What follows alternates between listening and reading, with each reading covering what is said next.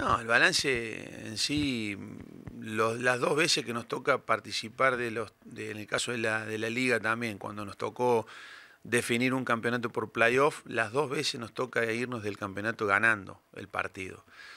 Eh, hoy por hoy también nos faltó ese gol como para llegar a los penales, la idea no era esa, la idea era tratar de ganarlo en la cancha, se trató de armar un equipo bien ofensivo, se trató de, trabajar teniendo los recaudos necesarios para que no nos llegaran tanto, el segundo tiempo con esa, esa ese nerviosismo y esa por ahí eh, eh, necesidad de, tener que hacer un gol más, eh, que quedamos un poquito desprolijo en el fondo, nos crearon dos oportunidades claras de gol que, podría haber sido ahí, yo creo que ya la definición a favor de ellos por, por el hecho de que era, iba a ser muy difícil hacer dos goles más con el poco tiempo que quedaba, pero bueno, la verdad que eh, tuvimos una buena actuación de, la defensa y de Luis. Que, salvó dos, dos, ocasiones claras, pero no por una cuestión de, eh, de, merecimiento de ellos, sino que nosotros tratamos de hacer lo, imposible y, es una cuenta pendiente que tengo desde que estoy en el club, le decía a los jugadores que cada vez que un equipo se nos mete atrás, eh, no sabemos todavía eh, tomar buenas decisiones para poder romper líneas y terminar en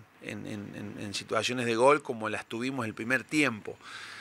Eh, el equipo rival, el caso nuestro, el día lunes fuimos a Aya María y nosotros hicimos el trabajo que Alem vino a, a hacernos a nosotros el domingo y nosotros se lo hicimos a Aya María el, lunes y a ellos les fue muy difícil entrarnos. Entonces es mucho más fácil hacer un planteo defensivo que hacer un planteo ofensivo. En lo ofensivo, cuando necesitas creatividad y que los jugadores logren romper la línea defensiva, se te hace mucho más difícil. Eh, hay tres jugadores que se quedan, que son Oliveira, Maldonado y Bonazzi. ¿Alguno más? Por lo que yo tengo entendido, no. Eh, bueno, lo de Alfonso eh, tenía una oportunidad para, viajar, me comentó él personalmente cuando me fue a saludar. Agradecía que lo habían, bueno, que lo habían tentado para quedarse, pero bueno, tenía una oportunidad para ir a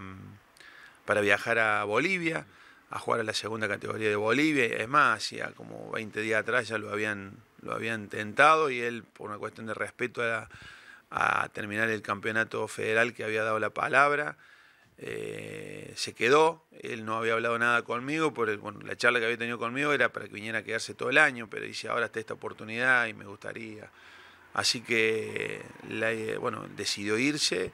Y lo de Núñez, eh, bueno, le salió esa oportunidad de moldes y yo creo que no, no se llegó a un acuerdo acá con la, con la dirigencia y bueno, decidió optar por, por, lo, de, por lo de Coronel Moldes.